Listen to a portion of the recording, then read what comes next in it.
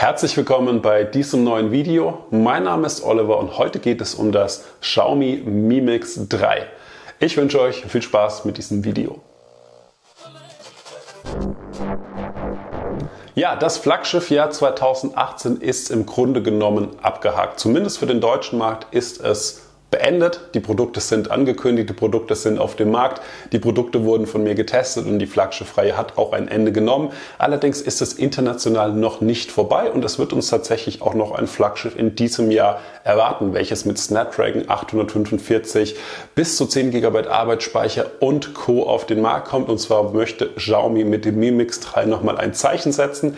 Es wurde bisher nur in China auf den Markt gebracht und angekündigt, soll aber dann auch in den kommenden Wochen als internationale globale Version angekündigt werden, vermutlich sogar noch im Dezember und dürfte dann auch in Europa, in Spanien, Italien und Co. auf den Markt kommen. In Deutschland ist Xiaomi ja immer noch nicht offiziell vertreten, allerdings wird sich dann in den kommenden Wochen auch sehr leicht ein Modell importieren lassen und ich könnte mir gut vorstellen, dass auch Anfang 2019 Xiaomi dann zu uns in Deutschland oder offiziell nach Deutschland kommen wird und offiziell vertreten sein wird.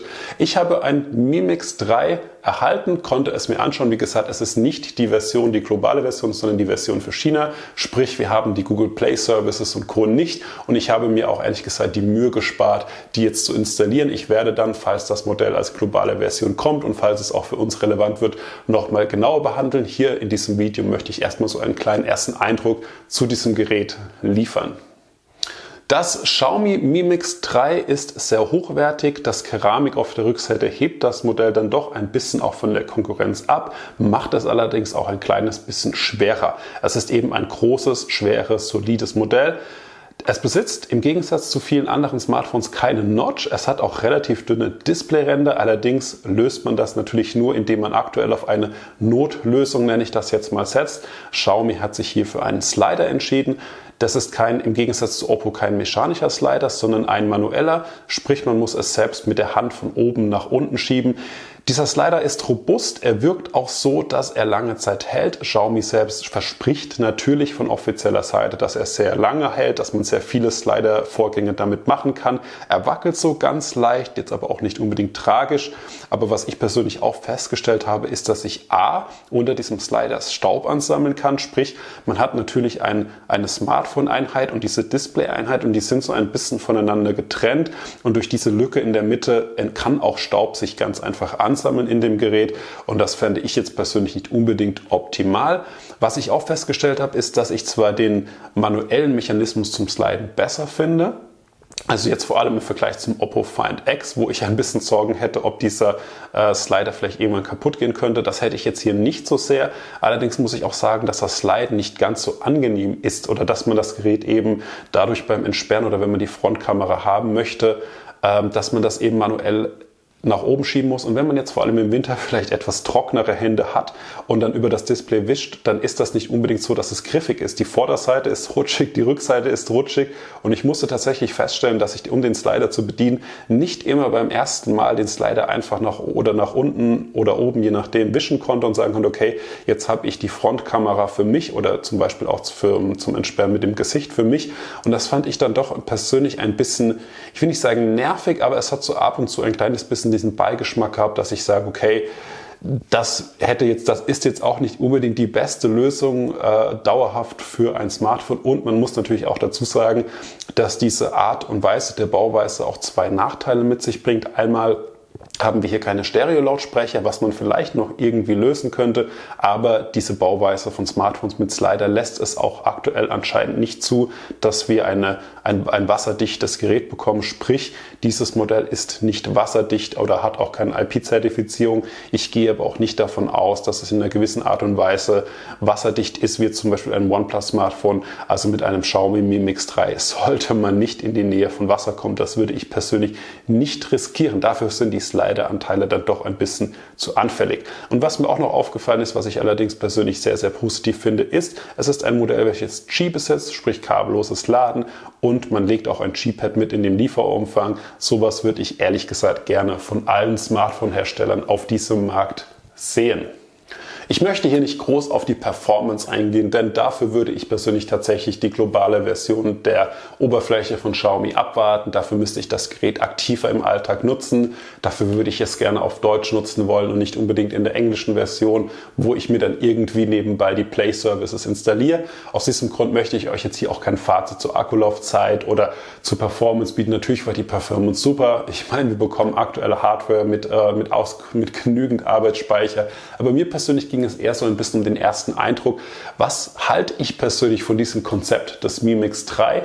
Und das hat mir auf den ersten Moment sehr gut gefallen. Wie beim Oppo Find X ist es so, wenn man so ein Gerät ohne Notch und ohne großen Rand sieht und quasi nur noch Display in der Hand hat, dann ist das natürlich beeindruckend. Dann macht das Spaß. Und ich finde auch beim Oppo Find X, dann, wenn man das Gerät jetzt nicht unbedingt, nur, wenn man den Slider nicht benötigt, ist das wirklich ein super Konzept. Sobald es bei mir allerdings dann dazu übergeht, dass ich die Frontkamera benötige, zum Beispiel zum Entsperren oder auch einfach um ein Selfie von einem selbst zu machen, aus was für Gründen auch immer, in diesem Moment kommt eben dieser Slider zum Einsatz und sowohl der mechanische Slider als auch dieser manuelle Slider sind für mich nicht die beste Lösung. Das spricht aber, wie gesagt, auch nur für mich persönlich. Und ich persönlich muss auch einfach dazu sagen, es würde mich jetzt nicht stören, wenn ich eben oben eine kleine Display-Einkerbung, die wir ja mittlerweile als Notch bezeichnen, hätte. Ich hätte lieber ein Smartphone, welches dann IP-zertifiziert ist, welches Stereo-Lautsprecher besitzt und die üblichen Standards von 2018 mitbringt dafür aber eben diese kleine Aussparung im Display besitzt und eben keinen Slider besitzt. Dieses kleine Stück Display kostet verdammt viele Dinge, auf die man dafür im Umkehrschluss verzichten muss und auf die ich persönlich nicht verzichten wollen würde. Da wäre es mir persönlich als persönliche Präferenz dann doch wichtiger zu sagen, okay, ich habe auch ein ähnlich gutes Fullscreen-Display mit wenig Rand, nehmen wir jetzt ein iPhone 10 oder sowas, ähm, habe aber eben einfach diese ganze Technik oben drin in dieser Notch und das ist so der aktuelle Stand für mich 2018. Aber ich finde es trotzdem schön, dass wir Konzepte wie das Xiaomi Mi Mix 3 oder auch das Oppo Find X haben.